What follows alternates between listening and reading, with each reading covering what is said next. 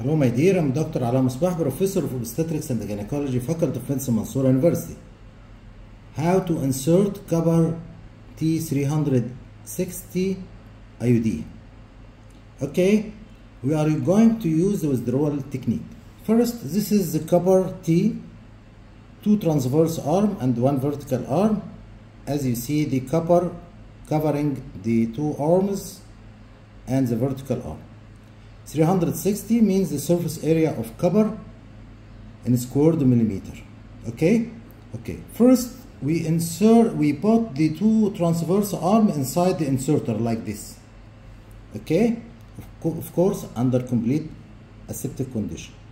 This is the flank denoting the length of the uterine cavity. You measure it first using uh, uterine sound and know the position of the uterus. Okay? This is the plunger and this is the inserter and this is the flank and this is the copper T and the two transverse arm inside the inserter.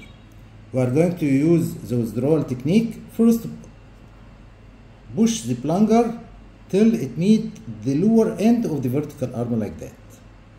Then we are going to do the insertion with using withdrawal technique like that.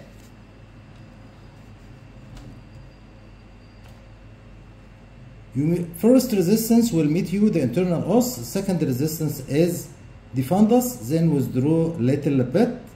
Then withdraw the inserter while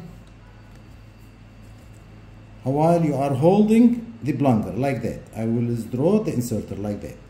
To release the transverse arm, lock. What happened? The inserter withdrawal leads to the transverse arm released inside the cavity. What we are going to do next, we will remove the plunger like this. And then we will withdraw the inserter smoothly and easily like that. Then the threads will come through the external os like this. One centimeter from its from the external os, we will cut it like that with scissors. That's all, then remove the insert. That's all about insertion of ID. Thank you.